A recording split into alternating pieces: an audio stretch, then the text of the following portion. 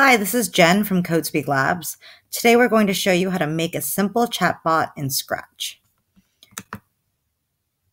So here you can see what a final project would look like. A chatbot is basically like a Siri or Alexa, where it can respond to you.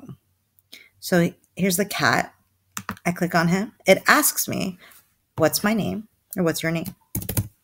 I type in Jen. It says, hello, Jen. So it remembers my name. It's responding. It asks, are you okay? I say, yes. And it says, that's good, Jen. Do you want to see me dance, Jen? I say, yes. Ooh. Then does a little dance. So as you can see, it's acting as if it's human, as if it remembers what I'm saying and is responding accordingly. Um, so I'll show you how to start off on that project using these three big programming concepts, input, output, if else, and variables. Let's start by opening up a new project in Scratch.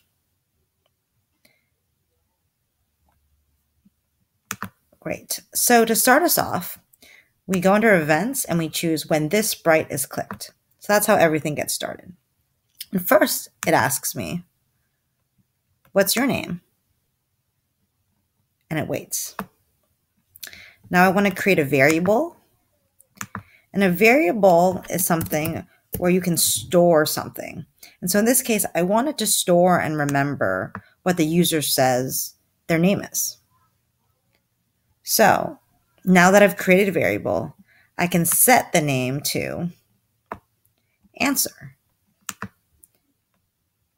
And so in this way, the cat will remember the name. Then I'm going to say,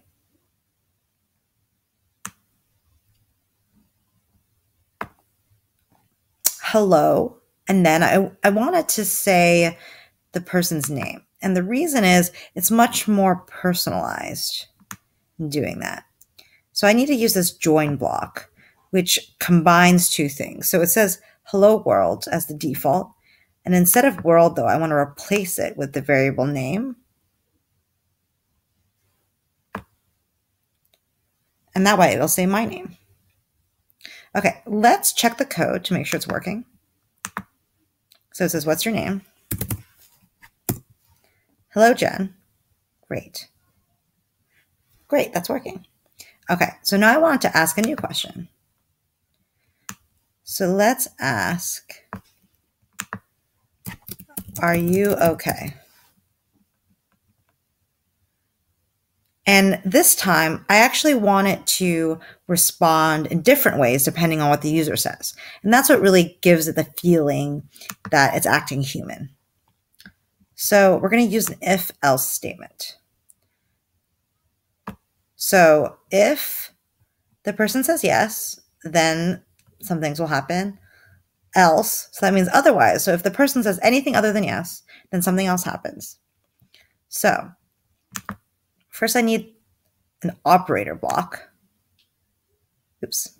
So what I actually want to do is okay, if the person says yes, the way that I write that in Scratch is saying, okay, if the user's answer is yes, so I can just type that in here then have it say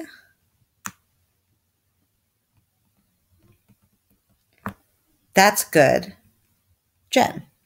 So again, because I want it to use the variable name, I need to actually use this join block.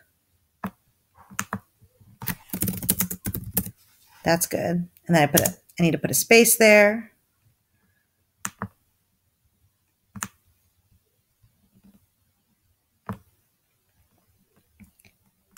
Then now what should I have it say if you don't answer that you're okay? So I'm just going to have it say, that's bad, Jen. I'm sure you can think of something much more creative. Join. It's bad.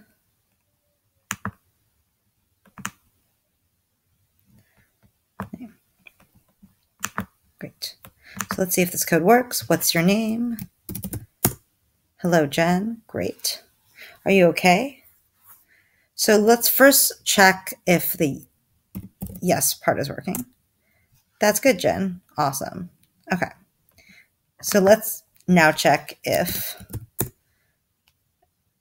the else part is working. Are you okay? So this time I'm going to say no. Let's see what happens. That's bad, Jen. Oh, so if you notice, that's bad and Jen were squished together. And that's because I didn't have a space here. So let's say I add that space. I check the code again.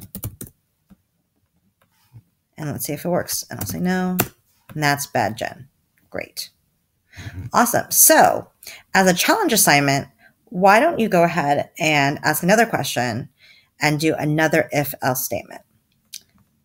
Thanks so much for watching. And if you have any questions, contact CodeSpeak Labs. I'll put our information down below.